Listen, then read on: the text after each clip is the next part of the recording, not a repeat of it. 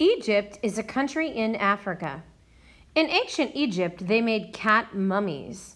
The cat mummies were placed in the temple of the cat goddess Bastet. You can make a soft sculpture cat mummy. The supplies you will need to gather are paper, a paper shopping bag or brown packaging paper, pencil, crayons, scissors, and glue. Directions. Draw the cat mummy. Draw a circle for the head. Draw an oval for the body. Draw triangles for the ears. Number two, draw curved lines on the body. This will make the cat look round. Number three, draw a face.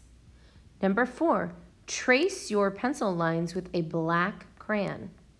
Number five, color your patterns. Six, cut out your cat mummy. Trace your cat on another paper and cut it out.